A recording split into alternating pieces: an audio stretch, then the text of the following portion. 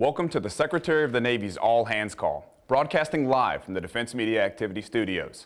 Today we're going to be taking your questions from across the fleet and around the world. I'm Petty Officer Andrew Johnson, and I'll be your host. Joining me on studio today, Secretary of the Navy, the Honorable Ray Mabus. Mr. Secretary, thanks for joining us, sir. Uh, before we get things rolling and get the questions coming in, can you uh, address us on the status of your Navy and Marine Corps family? You know, the, the thing that the Navy and Marine Corps gives our country, the unique thing, is presence. We are where we need to be, not just at the right time, but all the time. We are all over the world. And the way we provide that presence is by doing four things, is by concentrating on four things people, platforms, power, and partnerships. People, the sailors and Marines we've got are the absolute edge that we have. It's our, it's the advantage that we have over anyone else. And trying to make sure that sailors, Marines, families are taken care of, making sure that you've got the right tools to do your job, making sure that the deployment schedules, making sure that the stress on the force, that you're resilient, that you can meet these things. It's one of the reasons we put out 21st Century Sailor and Marine so that all the programs that we've got, you can go to one place and, and look at. But that is our, that is our edge, are our people. Second are platforms. You know, we've got the best platforms in the world, the best ships, the best aircraft, but quantity becomes a quality all its own. And so we're growing the fleet. Uh, in the five years before I became secretary, the U.S. Navy put 27 ships under contract. In the first five years I've been secretary, we put 70 ships under contract, and we're growing the fleet to where we're going to get past 300 ships again before the end of this decade. Third is power or energy. And you don't have to look any further than the headlines today to see how energy can be used as a weapon. And also, it's important that we have a steady cost for energy because over two years, the Department of Defense has had $3 billion in additional energy cost. Uh, that's hard money to find, and the only place we can find it is out of operations. So we train less, we fly less, we steam less. Or if the bill gets too big, we buy fewer ships and fewer aircraft, and that's just not either any of those is not a good option. And finally, um, partnerships. Marines and sailors have to be diplomats. Uh, you're the only people that a lot of foreigners will ever see, the only Americans that they will ever meet. Uh, those partnerships are with the American people, those partnerships with, are with industry that build our, our platforms, but they're with our friends, our allies around the world. And if you just look at what the Navy and Marine Corps are doing around the world today, uh, in the Pacific, we're in the Western Pacific doing missile defense work. Marines in Okinawa and a rotational force in, in Australia. Um, an amphibious ready group uh, operating in the Western Pacific. We just announced Pacific Partnership Station to do humanitarian assistance and disaster relief around the Pacific. Uh, you move a little further west, Marines in combat in Afghanistan. Uh, airplanes off a carrier coming in to do close air support for those Marines and sailors on the ground. Uh, we've got Bataan on the line, I understand, that's in the Fifth Fleet right now, doing ships in the Fifth Fleet are doing everything from counter piracy to, to security assistance all across that, that area. We've got Marines in the Black Sea rotational force. You go a little further west, we're doing missile defense work in the Eastern Mediterranean, and we've got Rota Spain uh, on the line today. And I was there not long ago to welcome the first of four destroyers that we're putting into Rota to provide that constant presence uh, in, in that area, in Europe and around, and around Europe. And here at home, we've got sailors and Marines spread across this country, uh, training, getting ready to go on deployment. The final thing I'll say is that as we come down, we're out of Iraq, we're coming down out of Afghanistan. But for sailors and Marines, we're not a garrison force. we will always be deployed. Uh, there aren't any permanent homecomings for sailors and Marines. We are America's insurance policy. We are everywhere we need to be.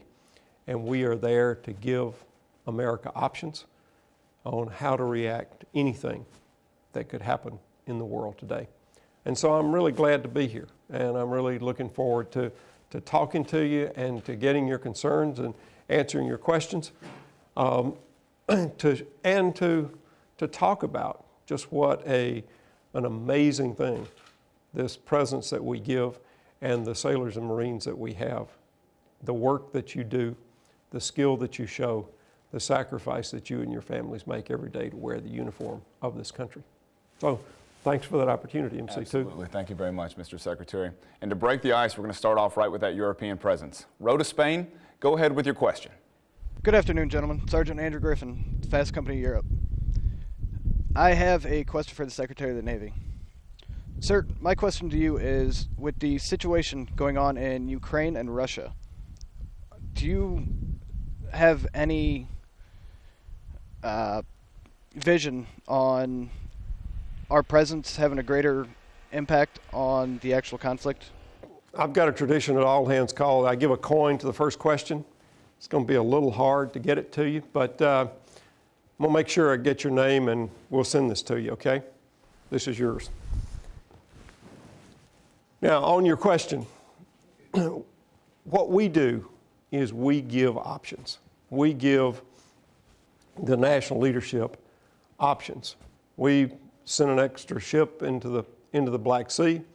Uh, we've got additional Marines in Bulgaria and Romania as part of the Black Sea Rotational Force. Um, and we're doing work with our allies in the Baltics um, in, uh, and, and around Europe. Um, our job, as I said before, is to be not just at the right place at the right time, but the right place all the time. So that we, so that our national leadership has those options, so that they can make a decision as to what our response is, what we do in this crisis or in any other sort of crisis. But that's what, that's what the Navy and Marine Corps give this country.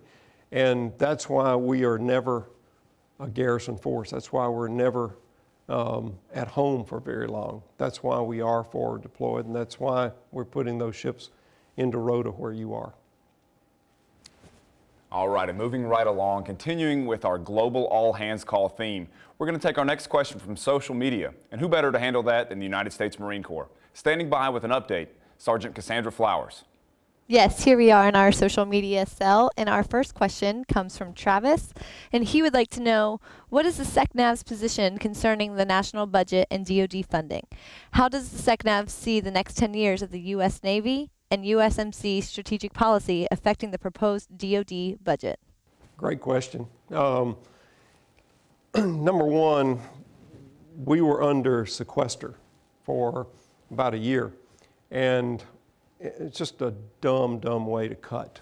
Um, everybody expects, as we come out of two wars, that we're going to spend less on defense. But the, the important thing is how do we do that? How do we do it in a smart way? How do we do it in a way that keeps the capabilities that we need? How do we do it in a way that keeps the tools for you that we, we need to have? So Congress fixed 14 and 15. Now, they didn't get back up to where the president's budget was, but they gave us some stability for 14 and 15. So we can do some planning. Um, past 15, it's up in the air. Sequester is supposed to, supposed to kick back in in 16 um, going forward. But we're working very hard to make sure that we don't cut in this mindless way and just using this meat ax approach. The National Defense Strategy of the United States that the President announced in January of 2012 is a maritime strategy. It's what, for us to do that, we've got to keep a great Navy and a great Marine Corps. We've got to grow the fleet. We've got to make sure that we have, we have that presence. And that's what um, one of my jobs is in terms of making sure that the budget that we have reaches what we need to do. Now, we're going to take some risk in some areas, but what we're, what we're going to focus on are things like building ships to make sure that we can maintain that presence. We're going to focus on the things that will try to make sure that the force that you have everything that you need to do.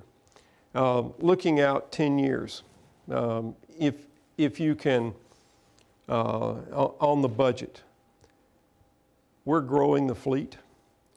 We're trying to keep faith with sailors and Marines. Now, the Marines are coming down uh, in numbers. The Marines went up from 175,000 to 202,000 during the surge in Iraq. We're coming back down. Right now, the number for the Marines is, that we're drawing back down to is 182,000 Marines.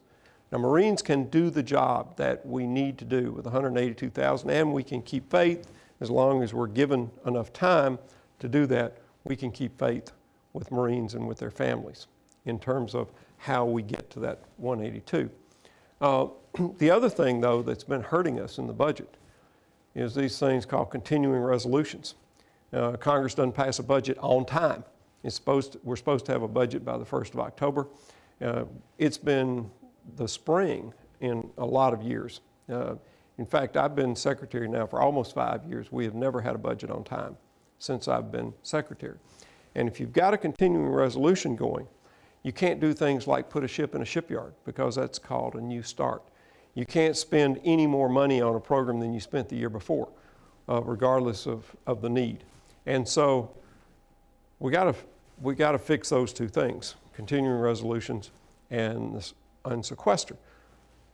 All the time, recognizing that the American people are demanding and should expect that we're going to spend less on defense, but that we will keep this country safe and we will do we will come down we will make these reductions in a smart way and not in just this ham-handed cut everything a certain percentage way always a tough question but something everybody's always asking about moving right along we're going to take a, a phone call coming to us from korea korea go ahead with your question Hello, um, my name is Kelly Reeves, and I'm stationed with my husband here in Korea. And uh, my question is also regarding the budget, um, but from a family standpoint. Uh, with the smaller military budget on the horizon, has there been any more discussion about replacing the current housing and food allowance programs, the BAH and BAS? With a standard locality allowance that would consolidate our dependent allowance, OHA, and COLA together? And then can you comment on how this might affect overseas military families um, with regard to our housing and living allowances? I don't know of any any effort to move toward that one uh, local allowance that you talked about. And that would be a DOD wide thing. That wouldn't be just the Navy or just the Marine Corps doing it. That would be uh, for the joint force. That would be for everybody. Um, as I said, I don't know of any, any movement in that way. The things that we're doing, the things that have been recommended on, um, on things like pay and allowance, is to slow some of the growth. It's not to cut anybody. It's not to cut any pay. It's not to cut anybody's pay. It's not to cut anybody's allowances, but it is to slow the growth, because Military pay and allowances have grown 40% more than the private sector over the last decade or more.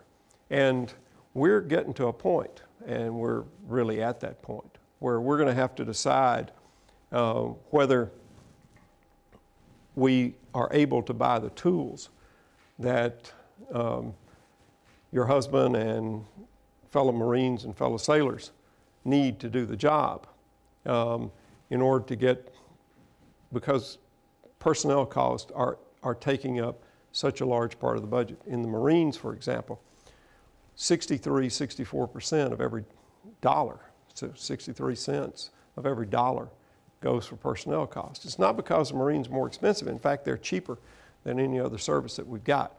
It's just that we have gotten to that point where you got to make a choice.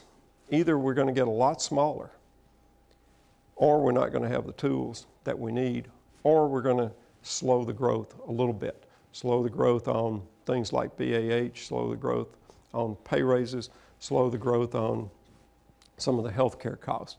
Um, without doing all this, in the words that our CNO uses, there's quality of life with pay and benefits and for families. There's also quality of work.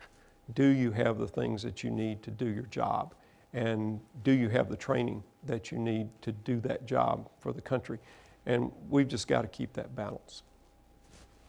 C2. All right, Mr. Secretary. Next, we're going to Camp Pendleton. Camp Pendleton, go ahead with your question for the Secretary. Morning, sir. Corporal Green, 1st Battalion, 11th Marines. Um, I want to know, recently uh, President Obama signed the Enhanced Defense Cooperation Agreement. Um, I want to know how that is going to affect the West the Westpac deployments as far as the location and the op tempo.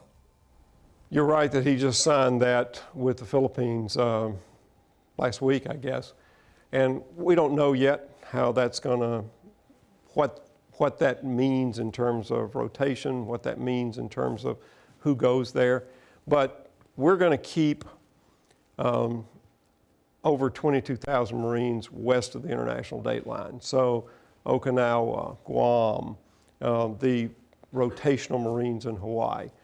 And I don't think you're going to see op tempos going down um, in the future, uh, either in the Pacific or anywhere around the world.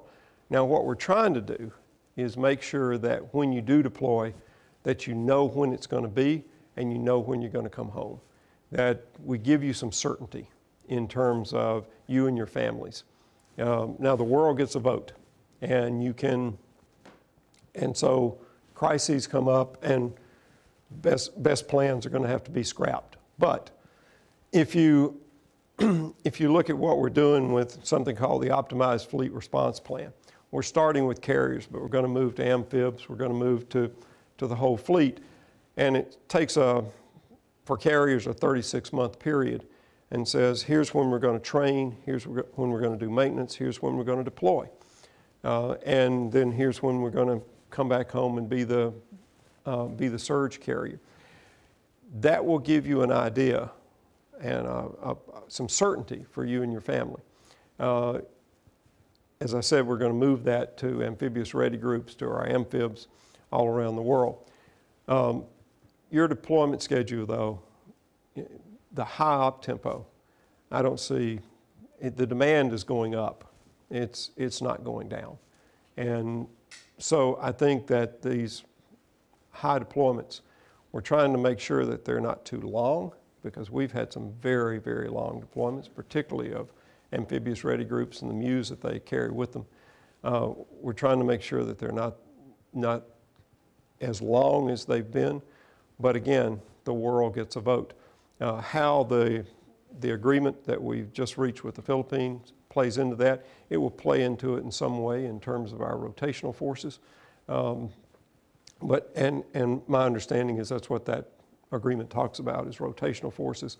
Um, and an agreement that we've got in place now is in Darwin, Australia, where we send Marines. We started out with a company. We've gone up now. Uh, we started out with about 200 Marines. Now we're around 11 or 1,200 Marines, and we're building up to, um, to a battalion size uh, uh, set of Marines with more than 2,000 Marines there, but on a rotational basis, not there on a permanent basis. And out and around the area doing engagements, doing training, doing exercises, doing, uh, working with our partners and our allies in the region.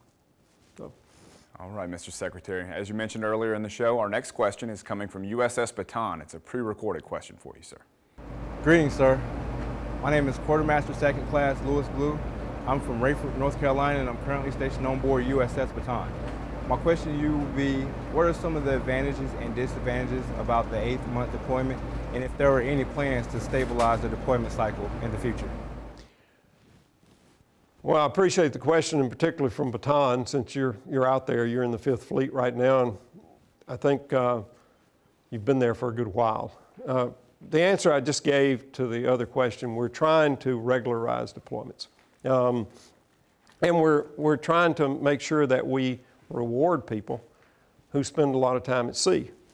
Um, we've, we've increased uh, career sea pay. So if, if you are at sea for three years cumulative, you're going to see a 25% increase in sea pay. Um, if you're at sea for three years in a row, then you're going to get sea pay premium, and we're doubling that from $100 a month to $200 a month. If you're E5 to E9 and you've spent eight years, whether eh, just in your career at sea, then anytime you're assigned to a ship, you're going to get a combination of those two. We're also looking at giving uh, additional allowances if deployments go over a certain length. So if they go much over six months, we're looking at extra pay for sailors and Marines that are, um, that are at sea for that long because that is a really, really long time to be at sea. Uh, I was in the Navy more than 40 years ago, and six month deployments then were pretty standard. And six months is not a short amount of time to be away from home. And so, using this optimized fleet response plan, we're trying to make sure that our deployments are stable, that they are um, that you can plan for it, that you and your families can plan for it. You know when you're going to be training, you know when you're going to go on deployment, you know when you're going to come back. Um, and that we reward people that go to sea and that go to sea a lot um, because we are the Navy and that's our job is to be forward deployed. We are the Marines and that's our job to be forward deployed and there around the world and not just uh, at a base back in back back at home. But we understand the stress that that puts on on people, on their families, and we want to number one make it make it more certain, and number two reward you for um, for doing that. And I hope y'all uh, y'all have a great cruise uh, and uh, get home very safe. Absolutely positive sea pay incentives are always well received, I can imagine. Our next question is coming to us via Skype, all the way from Afghanistan. Afghanistan, go ahead with your question. Good morning, Mr. Secretary. This is Lance Corporal Barron with 1st Battalion 9th Marines in Helmand Province, Afghanistan.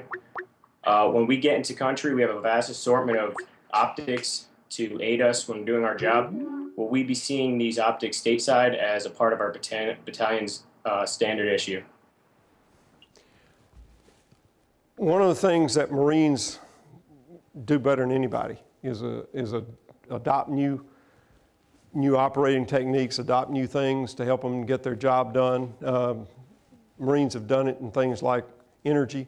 Uh, we were losing a Marine for every uh, 50 convoys of fuel coming into Afghanistan at the height of the fighting. Uh, Marines adopted things like these roll up solar panels to power GPS and radios. Um, solar panels to power tents, uh, better generators, LED lights, stuff like that. And that's becoming a part of the kit for every Marine uh, unit. Same thing with the other, other equipment that we have. And one of the things also that Marines do way better than anybody else is we're bringing our stuff back from Afghanistan and we're fixing it. Uh, we're, we're looking at what Marines need going forward. Uh, Marines are going to get lighter because you're going back to sea.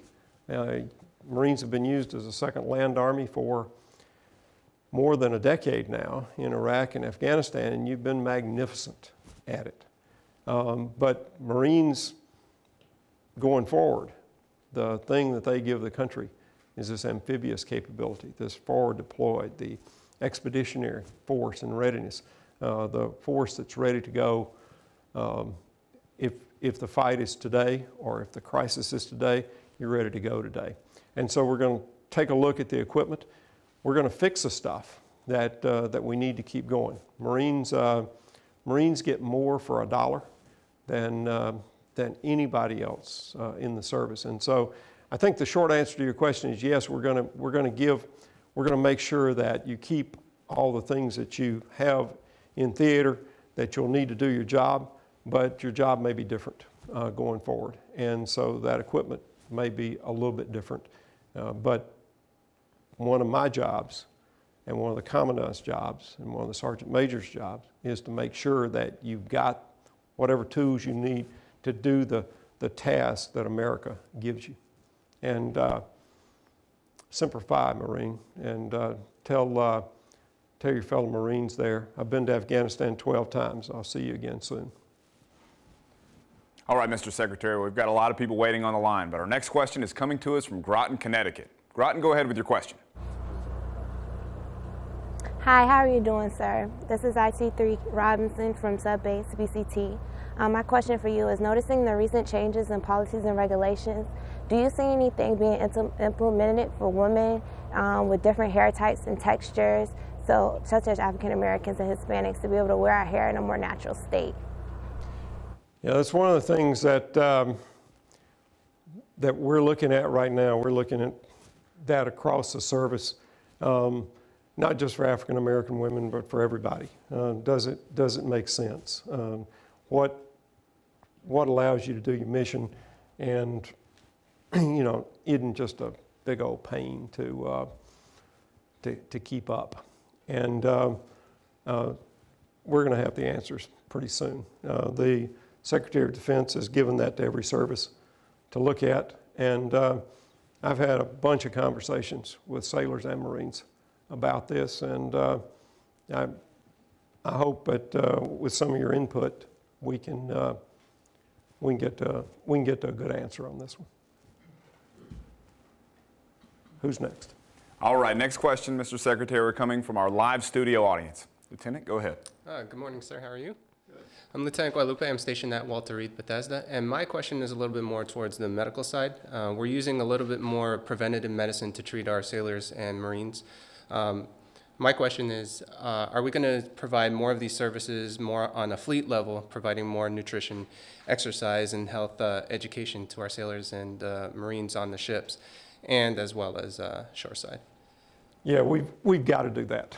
Um, the things, the preventative stuff, um, make sure that we've got a culture of fitness, make sure that everybody's ready to go, make sure that no matter what happens, we can respond. Uh, the things that you mentioned, uh, physical fitness, um, diet, um, you know, helping people stop smoking or making sure that alcohol doesn't in, end up in a career ending or life ending incident. Um, and these are a lot of the things that we're talking about in terms of 21st century sailor and marine, uh, trying to bring it all under, under one thing. It's way easier to keep something from happening than it is to fix it, than it is to rely on uh, some of our great doctors and nurses and healthcare folks to, to fix. And so um, the, the reason that we, we do these PFTs, the reason that uh, that you see the fuel to fight things, how many calories are in something, are they good calories or are they sort of empty calories? Are, are they going to give you what you need? The reason that you see all the smoking cessation programs and the reason you see the emphasis on sort of deglamorizing alcohol, not to keep people from drinking, but to keep people from, you know, losing their career or losing their life over, over just a, a bad decision. Um, and, and preventing other things too, preventing sexual assault, preventing some of the things that are attacks on our shipmates. And so the whole notion of 21st century sailor marine, the whole notion of what we're trying to do is to stop these things, is to prevent them before they, before they get done. But I want to, I want to do a bravo Zulu to, to Bethesda and to our corpsmen and doctors and nurses around the world um, for, for the great job that, that y'all are doing. And, you know, I'm so interested in healthcare that I married a nurse. Absolutely. Well, Mr. Secretary, we've got some great stuff already, and it's stirring up some social media buzz. Sergeant Flowers has got some more with an update. Okay. All right, we have a new email coming in from Chad Petrie. He would like to know, Mr. Secretary, are the LCS and JHSV programs meeting the needs of the U.S. Navy in your opinion? What is the likelihood of additional LCS orders beyond the 32 ships already ordered? Well, we've got a requirement for 52 small surface combatants. And the Secretary of Defense has ordered that we take a look at LCS. We, this is very normal.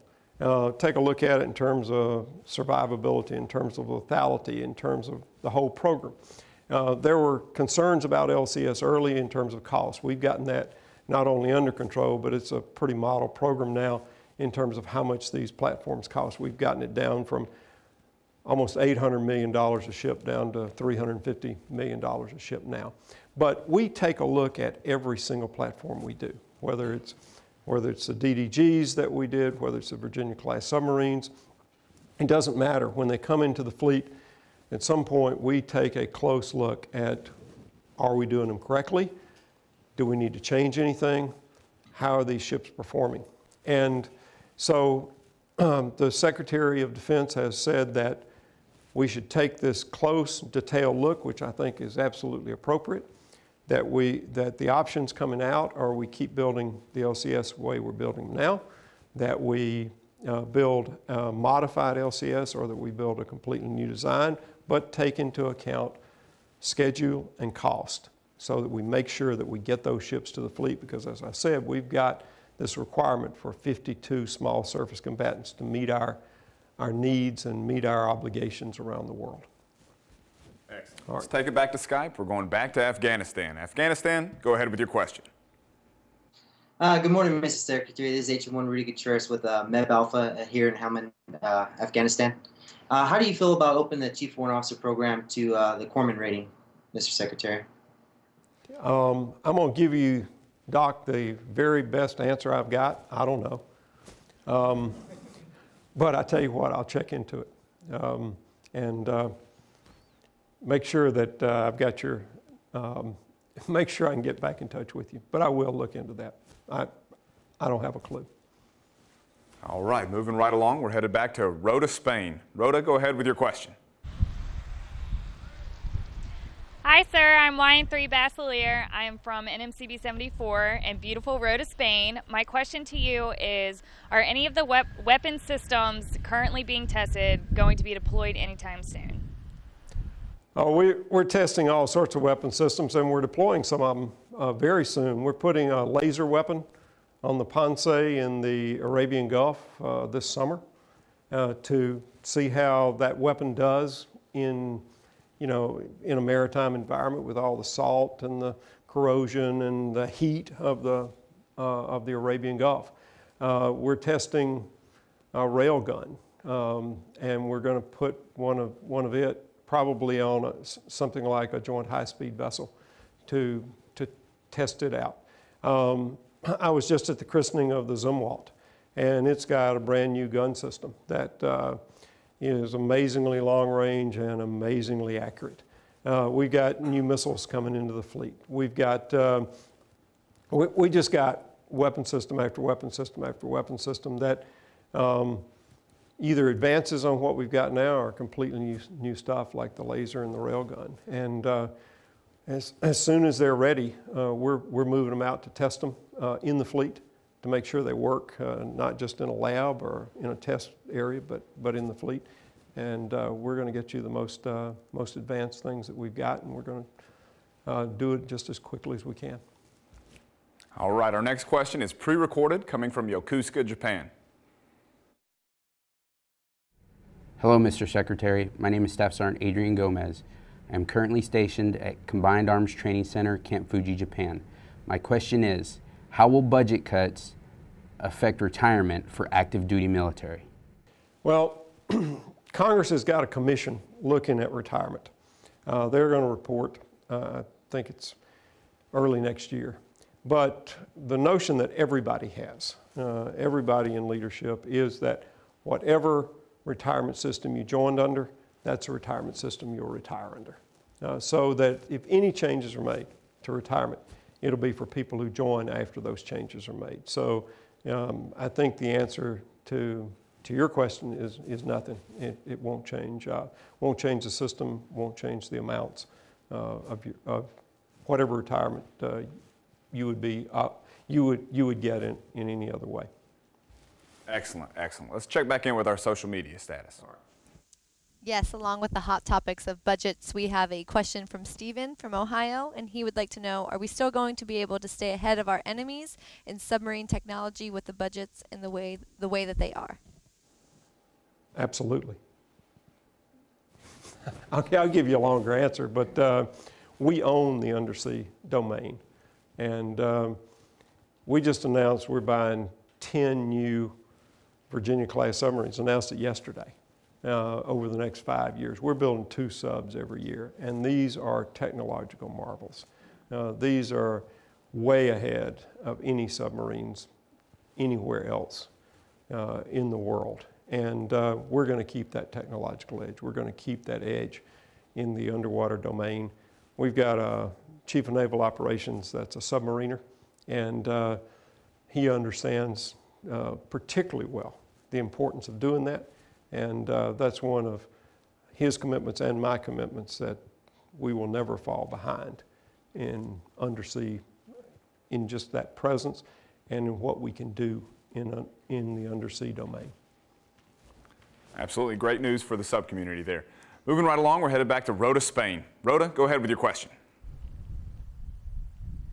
Good afternoon, sir. My name is Ellis Juan Tomas Gutierrez. I'm from NAVSUP Fleet Logistics Center, Rota, Spain. And my question to you is, um, with the previous shootings on board naval installations, um, what security measures are we taking and what is the long-term um, plan of action in order to prevent this?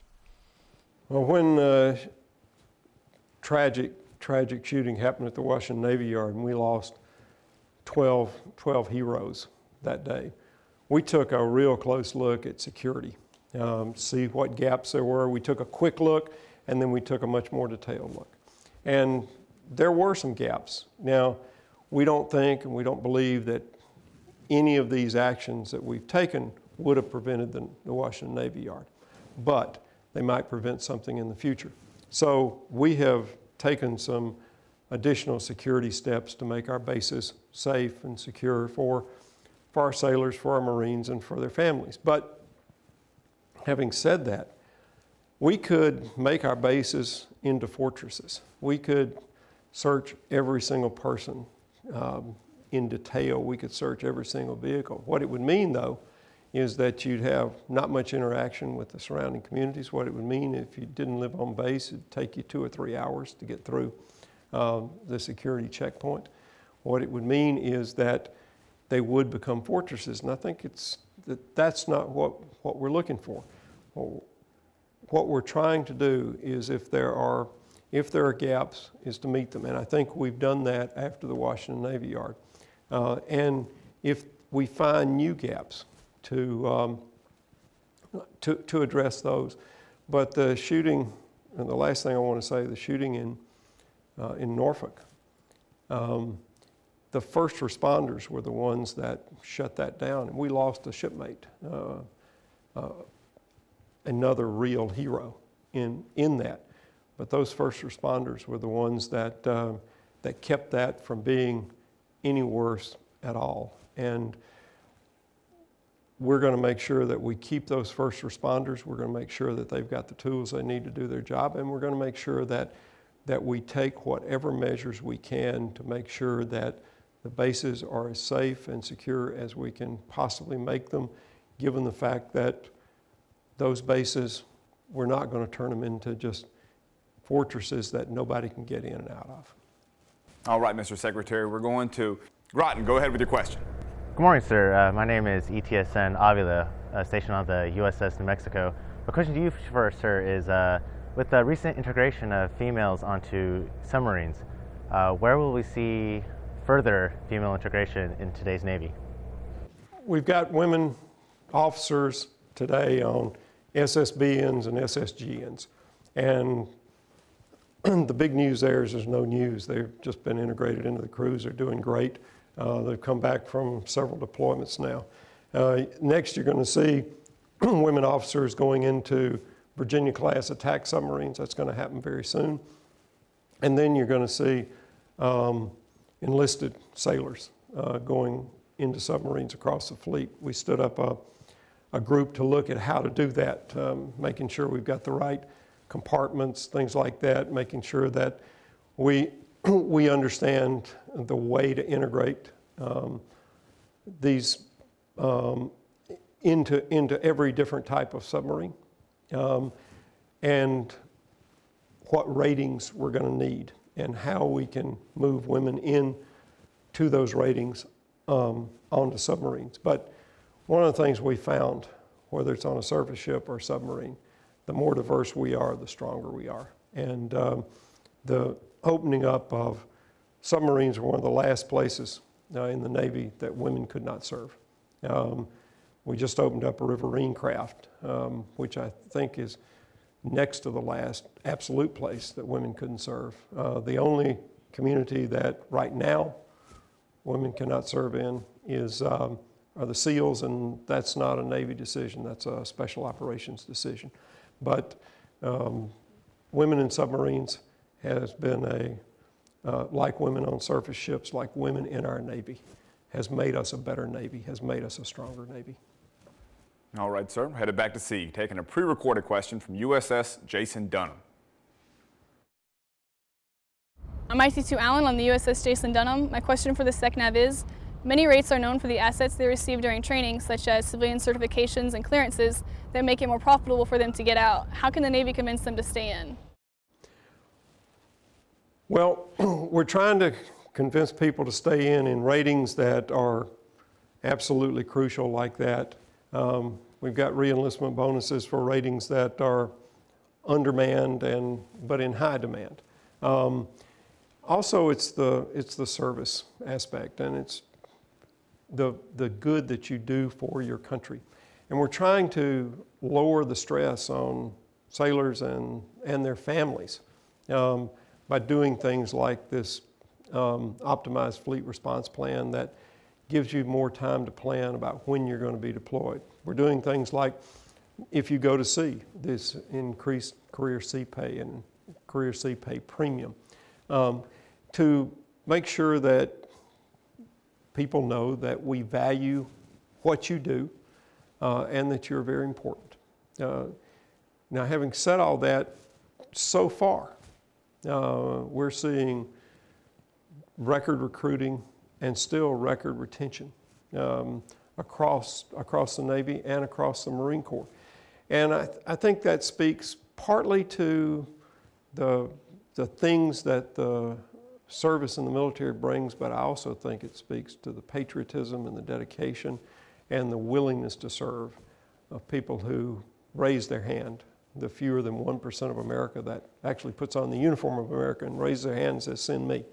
Uh, and that's an awesome thing to see. And that's the best part of my job is getting out and seeing sailors and Marines on things like the Jason Dunham that I went to the commissioning of Jason Dunham. Uh, and I think, except for El Salvador, um, I've been to every single place that uh, so far that a call is or Skype has come in from. And part of my job is to tell people how much not only the Navy and Marine Corps appreciates their skill, their dedication, their patriotism, but how much this country does. Because we're America's away team, and when we're doing our job, we're usually a long, long way from home. And people don't get to see just how good our sailors and Marines are, just how talented they are, just how educated and trained they are. And part of my job is to try to get that word out and is to go thank them, thank sailors and Marines on behalf of those people that they protect. All right, Mr. Secretary, we're going to give you a chance to go back to El Salvador. El Salvador. We're going to try it again via Skype. El Salvador, go ahead with your question. Good morning, Mr. Secretary. My name is Emmy1 Ridgeway from NSF Layperson, Oxford, Dix, New Jersey. My question is, what can be done to improve the joint federal travel regulations for single sailors serving in OCONUS duty assignments? The JFTR rules seem to be inconsistent with how single sailors and married sailors are treated with respect to housing allowances and pay entitlements. For instance, married sailors on OCONUS PCS orders get housing and dislocation allowances when assigned here, but single sailors do not. That's one of those issues that we struggle with all the time. Um, and the, the best answer I can give you is promise to go back and take a look at this particular instance. But I'll go back to my own experience. When, when I was in, as I said, 45 years ago, I was single. Um, I got paid less, I got fewer allowances, and I always found myself on duty on Thanksgiving Day and Christmas Day. Um, I had a family too.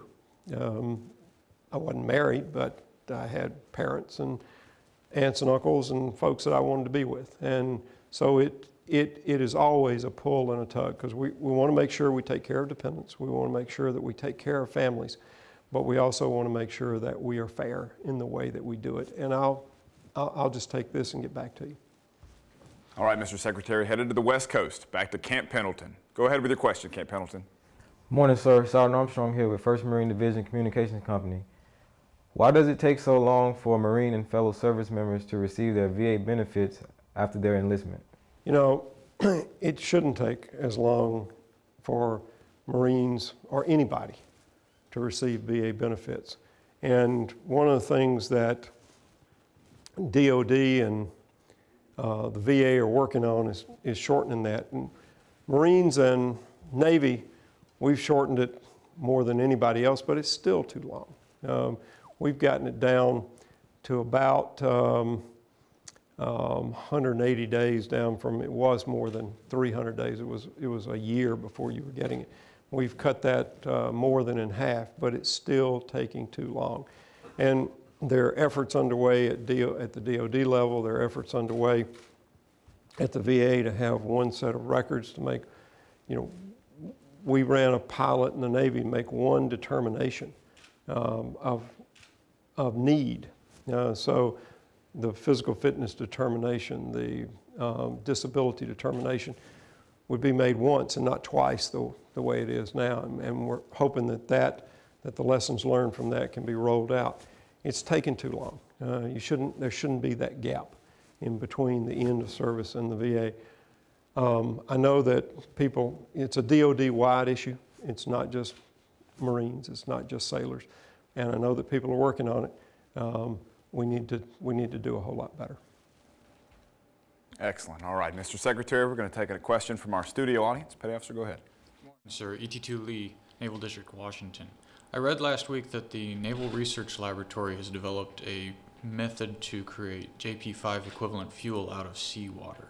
And I'm curious, is that something that's cost efficient in that not only will we produce an equivalent amount of fuel based on the energy we use, but is it something that we're going to have to overhaul all our aircraft and our ships based on the new chemical composition?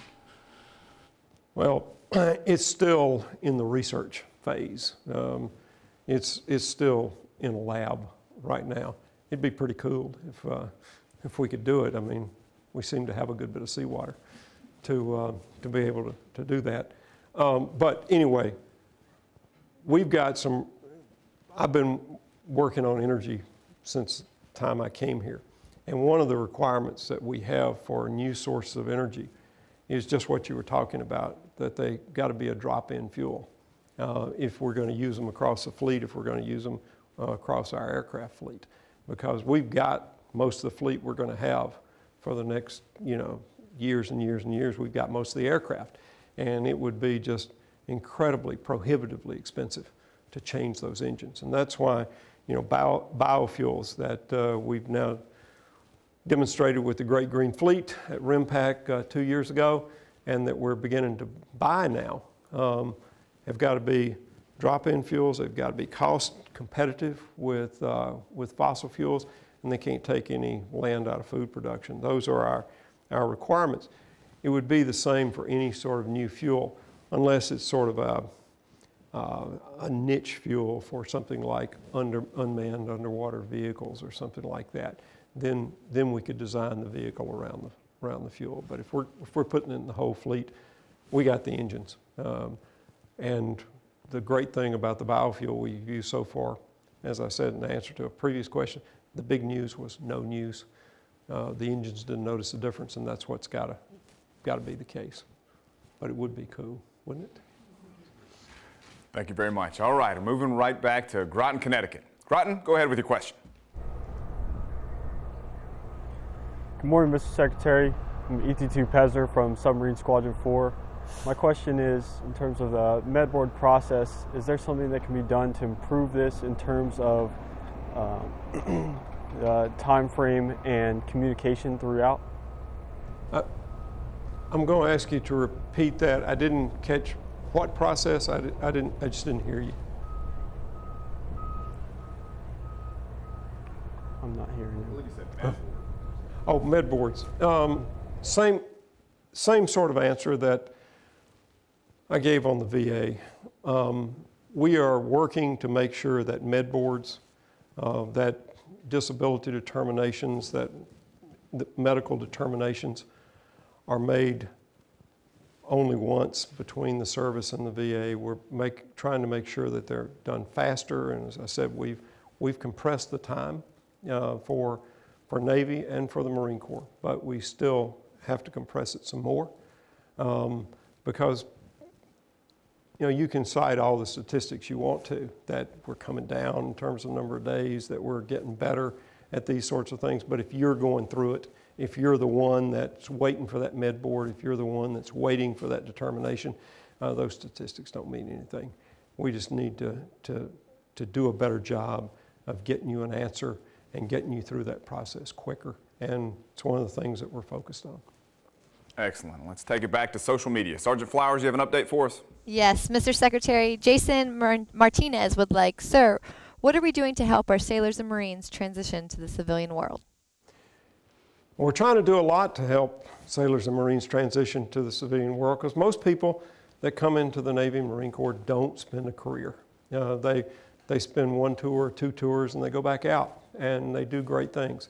Um, we, we try to start fairly early, um, up to a year before your transition date, uh, up to a year before your end of service date.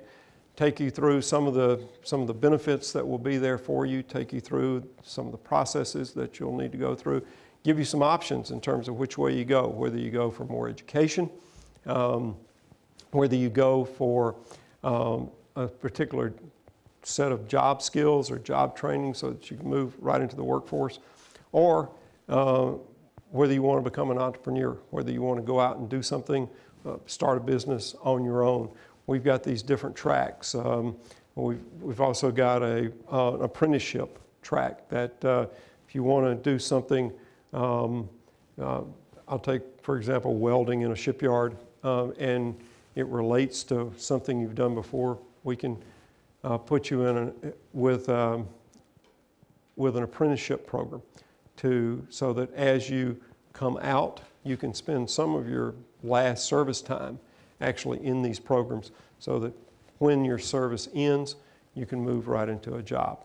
Um, employers, the other thing that, that I and a lot of people are working on is making sure that employers um, get the skill that's coming out of the Navy and Marine Corps and all of our services. Because You've got leadership skills, you've got, you've got incredible technical skills, you've got the kind of skills that, um, in terms of discipline, in terms of just life experience, that every employer ought to be looking for.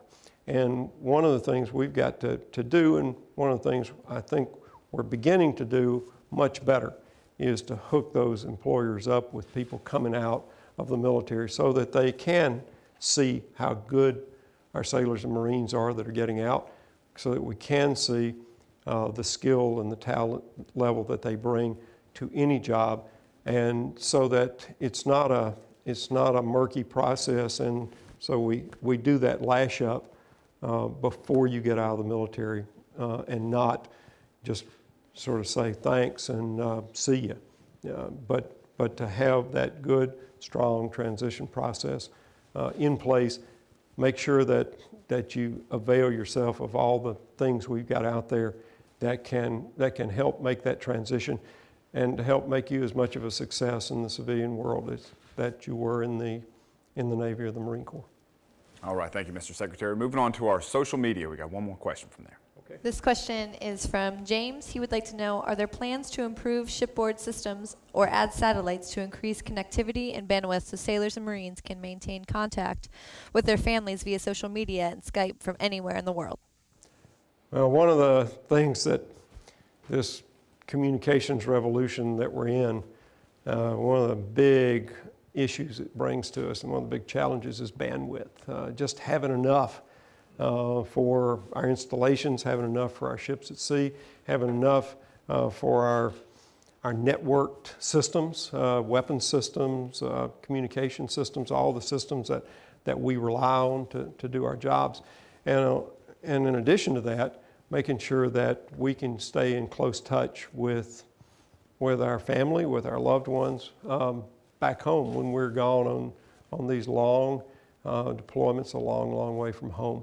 And we're, we've got some uh, programs underway. We're, we're managing the spectrum um, a, a, lot more, a lot more actively managing the spectrum so that we can do all these jobs. We're bringing new, new stuff online, new capabilities online uh, to, to make sure that we, we keep that bandwidth because the demand is getting bigger. It's, it's not getting smaller. It's getting bigger from network systems. It's getting bigger from people staying in touch. Um, all right, Mr. Secretary, running short on time. Okay. Want to make sure we get one in. We got the future of the Navy, DDG 1000. DDG 1000, go ahead with your question.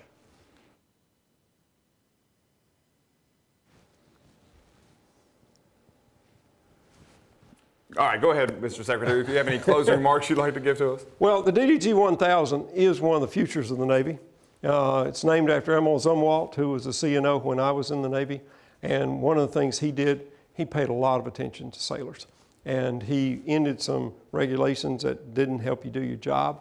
Uh, he called them Mickey Mouse regulations. He also brought women and minorities into, into the Navy and made us stronger. And so, you know, that's going to be a great ship and it's got a great crew. Excellent. Thank you very much, Mr. Secretary. We certainly appreciate you joining us. I also like to say thank you to everyone else that was in our studio audience as well as our social media cell. Um, by all, everyone at DMA, thank you for joining us. If you have any questions that didn't get answered, feel free to, to check out All Hands Magazine at www.ah.mil, and we'll make sure we get those posted up for you later today.